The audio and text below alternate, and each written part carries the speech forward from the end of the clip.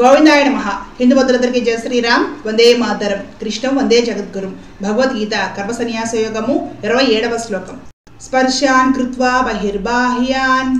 చక్షుశ్చైవాంతరే భ్రువోః ప్రాణాపానో సమౌ కృత్వా. నాసాభ్యంతరచారిణౌ. కృష్ణ పరమాత్మ అర్జునుడితో చెప్తున్నాడు. బాహ్య విషయ భోగములను చింతన చేయక. వాటిని పారద్రోలవలెను దృష్టిని భ్రూమధ్యమునందు స్థిరముగా ఉంచవలెను. నాసికయందు ప్రసరించుచున్న ప్రాణాపాన వాయువులను సమస్థితిలో నడపవలెను. దృష్టి భ్రూమధ్యము ప్రాణాపాన వాయువులు సమస్థితి ఏమిట్రా బాబు? ఇదంతా ఒక ముఖ అర్థం కావట్లేదు అనుకుంటున్నారా? ఇదేంటో మీకు అర్థమైంది అనుకోండి అదిరిపోవడం ఆశ్చర్యపోవడము మనం అంత అవుతుంది. రోజు పూజ చేస్తాం కదండి మనము. ఎంతసేపు చేస్తాము? ఎందుకు చేస్తాము? ఎవరికి చేస్తాము? మన ఓపికను అనుసరించి ఐదు నిమిషాలు పది నిమిషాలు పావుగంట అరగంట గంట చేసుకుంటారు. ఎవరికి చేస్తారు? రకరకాల దేవతలు చేస్తారు. ప్రతిరోజు రకరకాల పూజలు. అసలు ఊపిరాడినెవరండి? యూట్యూబ్ వచ్చిన తర్వాత మరీ దారుణంగా తయారైంది పరిస్థితి. ప్రతిరోజు రకరకాల పూజలు. ఎందుకు ఇవన్నీ అంటే రకరకాల కోరికలు ఇన్స్టెంట్గా కాసేపట్లో తీరడానికి అద్భుతాలు జరగడానికి పూజలు. అంతే కదా? నేను పబ్లిక్లో మొహమాటం లేకుండా చెప్తున్నాను. మీకేమో అంతరంగానికి అన్నీ తెలుసు. కానీ ఎప్పుడైనా గమనించారా?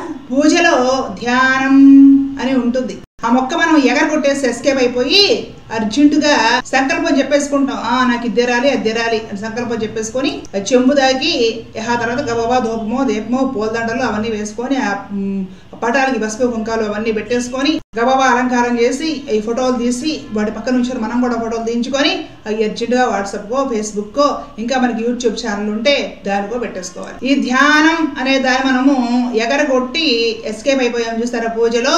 ఇక్కడ వస్తుంది సమస్య?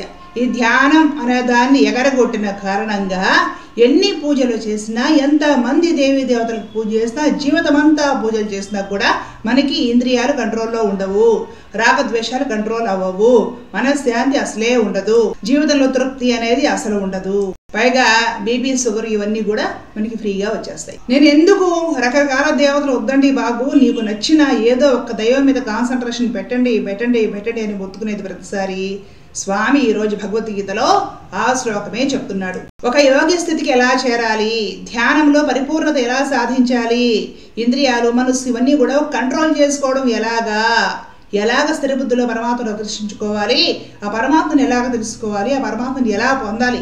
అసలు సాధన ఎలా చేయాలండి? స్వామి చెప్తున్నాడు చూడండి. బాహ్య విషయ భోగములను చింతన చేయక బయట అక్కర్లేని విషయాలన్నిటిని కూడా అతిగా ఆలోచించడము అతిగా చర్చించడము సందేహపట్టము. ఆ సందేహానికి మనకి ఆల్రెడీ నచ్చినట్లుగా ఉండే జవాబులు ఎవరైనా ఇస్తే తృప్తి పట్టము.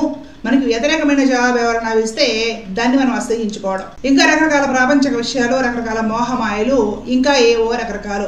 వీటన్నిటి అసలు చింతన చేయడం తగ్గించండి మానేయండి అని చెప్తున్నాడు స్వామి. ఇది ఫస్ట్ స్టెప్ వాటిని పారద్రోలవలేను అసలు ఇలాంటి విషయాలన్నీ కూడా మనసులో నుండి బయటకు తరింపడేయాలి ఎక్కువగా దేని గురించి ఆలోచించాల్సిన పని లేదు. రాజకీయాలు సినిమాలు క్రికెట్లు బంధువర్గము. వాళ్ళకుంది వీళ్ళకి లేదు మాకు అసలే లేదు. వాళ్ళెవరో మంచి వాళ్ళు కాదు మేమే మంచి వాళ్ళం ఇలాగ రకరకాలు ఏవైతే ఉన్నాయో ఇలాంటి ఆలోచనలన్నీ మనసులో నుండి తరిమేయండి. ఎక్కువ వీటి మీద కాన్సన్ట్రేషన్ పెట్టకండి. వీటికి ఎక్కువ ఇంపార్టెన్స్ ఇవ్వకండి. మనసును ముందు ప్రశాంతంగా ఉంచుకోవడానికి ప్రయత్నం చేయండి. తర్వాత దృష్టిని భ్రూమధ్యమునందు స్థిరముగా ఉంచవలేను.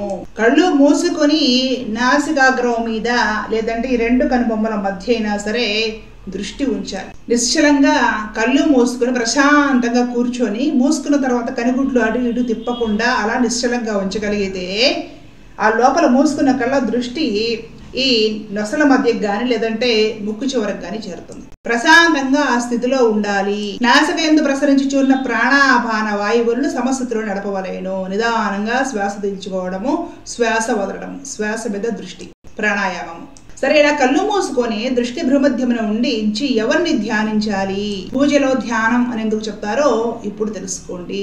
మీకు ప్రేమైన మీకు చాలా ఇష్టమైన మీ మనస్సు లాగుతున్న ఒక దైవాన్ని ధ్యానించండి కాసేపు. పూజలోనే ధ్యానం ఉంది. పూజలోనే నిదానంగా శ్వాసను సమస్థితిలో నడపాలి అనే ఒక బేసిక్ ప్రక్రియ ఉంది. ప్రతిరోజు పూజ చేసేటప్పుడు ఒక మూడు నాలుగు నిమిషాలన కేటాయించి ఇది చెయ్యాలి. ఈ ధ్యానం మీరు రోజుకు ఒక పూజ గంటకు ఒక పూజ పూటకు ఒక పూజ చేసుకుంటూ పోయారంటే ఎప్పటికీ కుదరదు. ధ్యానము కుదరకపోతే మనసుకు ఆ పరమాత్మ పట్టుకోడు మనసు స్థిరంగా ఉండదు. నీకు ఏదో ఒక దైవంతో ఏదో ఒక రూపంతో బాగా అనుబంధం ఏర్పడాలంటే ఒక్క దైవాన్ని ఎప్పుడు కూడా ధ్యానించాలి. మిగతా అందరి దైవాలని ఆయా పరిస్థితులను బట్టి మీరు చక్కగా ఆరాధించుకోవచ్చు దేవాలయానికి వెళ్ళి రావచ్చు నమస్కారం చేసుకోవచ్చు గౌరవించవచ్చు. కానీ ధ్యానము ప్రాణము మనస్సు అంతా కూడా మీకు ఇష్టమైన ఏదో ఒక దేవతా రూపం మీద పెట్టండి. అలా పెట్టి ధ్యానం అన్నప్పుడు ప్రతిరోజు పూజా కాసేపు రెండు నిమిషాలు కళ్ళు మూసుకొని మీ ఇష్ట దైవాన్ని ధ్యానం చేయండి. ఈ దృష్టి మధుర నొసల మధ్యలో ఆ దైవం ఉన్నట్లుగా మీరు ఊహించుకుంటూ భావించుకుంటూ కాసేపు ధ్యానించండి. అలాగా ఆ ప్రక్రియ ప్రారంభిస్తే నిదానంగా కళ్ళు మూసుకోగానే ఆ దైవమే ప్రత్యక్షమవుతూ ఉంటాడు మీకు ధ్యానంలో. ఉదాహరణకు ఒక శివలింగం ఇష్టము కళ్ళు మూసుకొని ఆ శివలింగాన్ని ధ్యానించండి. లేదంటే ప్రణవం ఓంకారాన్ని ధ్యానించండి. లేదంటే రాముడినో కృష్ణుడినో అమ్మవారినో ఏదో ఒకటి మీకు చాలా ప్రాణాతి ప్రాణం ప్రియమైన ఒక దైవాన్ని మీరు మన కళ్ళు మూసుకొని నిశ్చలంగా ధ్యానం చేసుకుంటే మీకు ధ్యానం కుదురుతుంది భక్తి కుదురుతుంది. భక్తి కుదిరినప్పుడు ఆ నిష్ట బలపడుతుంది. మీకు ఎప్పుడైతే నిష్ట బలపడుతుందో అంతా ఆయనే చూసుకుంటాడులే అనే ఒక భావనకు వచ్చేస్తారు అప్పుడు మీకు సందేహాలు భయాలు మాకేవో కావు కాబోలు ఆపదలు కాబోలు అనేవి ఏమి ఉండవు. అప్పుడు మీకు అన్నీ ఫలిస్తాయి. అసలు పూజలో మనం ధ్యానం అనేది ఉంటే మనం ధ్యానం చేయము. పట్టించుకోము. గబగబా పూజలు చేసేయాలి. గుప్పెడు అగరత్తులు వెలిగించేసేయాలి. రకరకాల పూలతో డెకరేషన్లు చేసేయాలి. పిండి దీపాలు వెండి దీపాలు రకరకాల దీపాలు పెట్టేయాలి. జన్మంతా పసుపులు రాసుకోవడం బొంకాలు పెట్టుకోవడం ఏవో అలంకారాలు చేసుకోవడం ఫోటోలు తీసుకోవడం. బతుకంతా ఇదే సరిపోతుంది పూజలో. ఈ ధ్యానము అనే ప్రక్రియ మాత్రం పూజలో ఉన్నా కూడా మనం ఎస్కేప్ అయిపోతాం. స్కిప్ చేసేసి పక్కకి వెళ్ళిపోతాం. తద్వారా ఈ సమస్యలు? మనశ్శాంతి లోపం. ముప్పై నలభై సంవత్సరాల నుంచి నిత్య పూజ చేస్తున్న వ్యక్తిని కూడా దైవం అంటే ఏమిటి? ఏమిటి నీ అనుభూతి అంటే ఏమీ చెప్పరు. ఏం జరుగుతుందంటే సమాజంలో మనం ధ్యానం చేయకపోవడం వలన మనశ్శాంతి లోపం కలుగుతుంది. నీ ఇంట్లో నీ పూజ గదిలో నీ దేవుడి పట్టం ముందు కూర్చుని నువ్వు చేయాల్సిన ధ్యానం చేయకపోవడం వలన బయట ధ్యానం సెంటర్లో పిరమిడ్ ధ్యానము ఎల్ఈడి బయట ధ్యానము ఇంకొక ధ్యానం ఇంకొక ధ్యానం అనేసి పుట్టగొడుగుల్లాగా కార్పొరేట్ భక్తి సంస్థలు పెట్టి భక్తి పేరుతో కోట్ల రూపాయల వ్యాపారం చేస్తున్నారు. ప్రతిరోజు నిత్య పూజలు మనం చేయాల్సింది మాత్రం చెయ్యం. అందుకే నేను చెప్తాను ఏదైనా ఒక దైవం మీద కాన్సన్ట్రేషన్ పెట్టండియా బాబు. ఆ దైవాన్ని ప్రాణపదంగా ధ్యానించుకోండి ఆరాధించుకోండి ప్రేమించుకోండి. అన్ని కామితార్థాలు ఈడేరుతాయంటే వింటరు. ఆహా మేము అన్ని కొత్త కొత్త చేయాల్సిందే కొత్త కొత్త చెప్తూ ఉంటారు. మేము ఆ మోహంలో పడాల్సిందే అవన్నీ మేము చేయాల్సిందే మా ఇష్టం అంటారు. కళ్ళు మూసుకుంటే కాన్సన్ట్రేషన్ ఒక దైవం మీద కనీసం ఒక ముప్పై సెకండ్లు పెట్టగలరా? ఎవరికి వాళ్ళు అంతరంగంలో ఆలోచించుకోండి. పూజలు సంవత్సరాల తరబడి చేస్తున్నారు. ఎందుకు అర నిమిషం ధ్యానించలేకపోతున్నారు కళ్ళు మూసుకొని? ఏమిటి లోపము? ఆ మాత్రం సాధించలేకపోయారా మీరు? ఎవరిది లోపము? ఎక్కడ మోసం జరుగుతుంది? ఖచ్చితంగా గమనిస్తే కరెక్ట్ చేసుకోవచ్చు మనం. ఎన్ని పూజలు చేసినా కూడా ఆ పరంధాముని అపరాత్పరుడిని ధ్యానించకపోతే ఫలితం ఉండదు. పూజలో స్టార్టింగ్లోనే ధ్యానం అని ఉంటుంది. నీకు ఆ ధ్యానం చేస్తే కాన్సన్ట్రేషన్ కుదురుతుంది. ఆ కాన్సన్ట్రేషన్ తోటి నీవు మిగతా పూజ సునాయాసంగా చేయగలుగుతావు. ఆ ధ్యానం అనేది స్కిప్ చేసేసి మిగతా పూజ హడావుడిగా చేసేసి ఏవో స్తోత్రాలు చాలా శక్తివంతమైన ఇరవై సార్లు పారాయణం చేసి పుస్తకం అవతల పడేసి అట్లా సంవత్సరమో ఏమో చేసి మాకు ఏ ఫలితాలు కలగలేదంటే. ఎవరు చేయమని చెప్పారు దేవుడు చెప్పాడు అన్ని సార్లు చేసేయండి లేదంటే తాట తీస్తానని చెప్పాడు ఆయన. భగవద్గీత చదవండి. ప్రతిరోజు పూజ చేసినప్పుడు రెండు నిమిషాల సమయం కేటాయించి పరమాత్మ ముందు ధ్యానించి మీ ఇష్ట దైవాన్ని ముందు కళ్ళు మూసుకుని ప్రశాంతంగా కూర్చొని ధ్యానించడము ప్రశాంతంగా శ్వాస క్రియలు ఉచ్ఛ్వాస నిశ్వాసాలను నడపడము అలవాటు చేసుకుని రెండు నిమిషాల నుండి బిగిన్ చేయండి.